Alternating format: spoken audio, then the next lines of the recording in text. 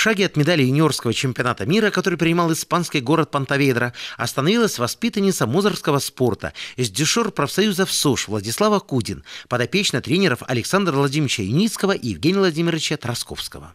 Результат тоже очень неплохой. Э, четвертое место. Ну, у нас считается пятое место, так как два третьих. Э, у борцов считается пятое место. Это очень даже неплохой результат, э, с учетом того, что это первенство мира до 20 лет. То есть попала она туда заслуженно, вырыла отбор первенства республики в своей возрастной категории. Ну, и поэтому она и поехала на этот мир. Вырыла две схватки. Получается, до полуфинала дошла. Э, за выход в финал проиграла американке. Вела в счете э, всю схватку. Ну, в конце немножко расслабилась. Американка провела более результативную атаку. Ну, получилось так, что проиграла.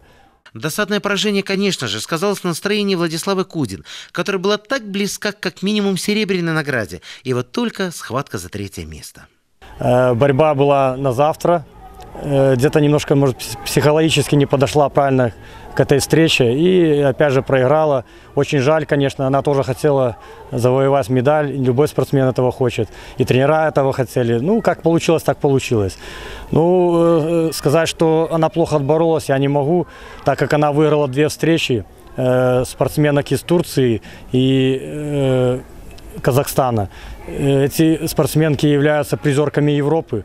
Она их выиграла чисто на туше, говорится, положила на лопатки. Поэтому я считаю, что это неплохой результат в общем. Пожелав удачи Владиславе Куди, настоящей звездочке борцовского небосклона, поблагодарим ее тренеров и спортивную школу за подготовку этой талантливой спортсменки, с которой мы тоже побеседуем в свое время. Ну и, конечно же, еще осенью мы посетим секцию вольной борьбы с Дюшор СОЖ, группу подготовки этих замечательных наставников Владимировичей Евгения Тросковского и Александра につまん